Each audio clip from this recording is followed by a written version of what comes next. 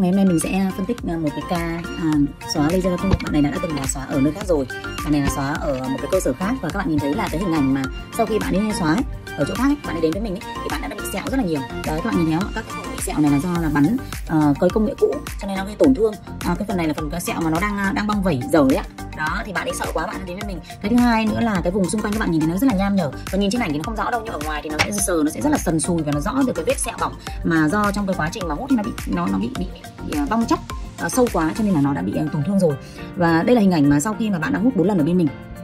Uh, các bạn nhìn thấy là cái uh, cái vết mà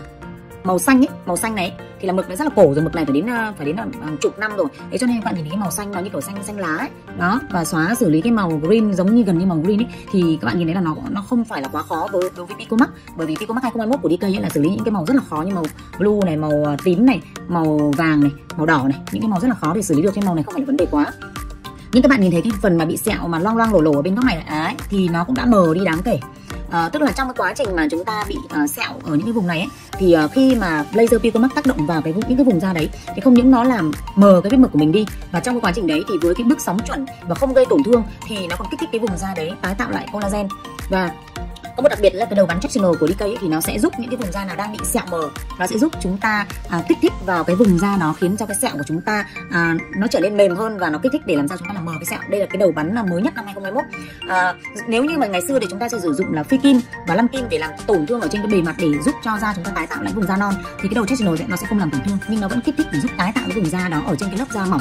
Đương nhiên là đối với những cái vết sẹo nào mà nó quá sâu thì sectional không xử lý được nhưng đối với những cái cái sẹo nào mà nó mờ ở trên da và nó nó mỏng thì professional sẽ xử lý rất là tốt. Mà không gây tổn thương như là phi kim hay lăn kim đòi hỏi kỹ thuật cao hơn.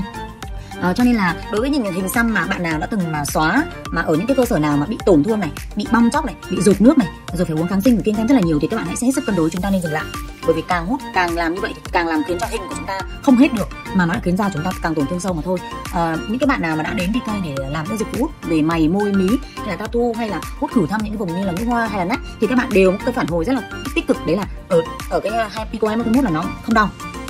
Nó cực kỳ nhẹ nhàng. Thứ hai là về không kiêng khem không phải uống thuốc không phải uh, bị băm chóc không bị rụt nước không ảnh hưởng sinh hoạt của các bạn. Đấy là những cái lợi ích rất là lớn của cái việc mà chúng ta đi xóa răng tattoo còn đương nhiên là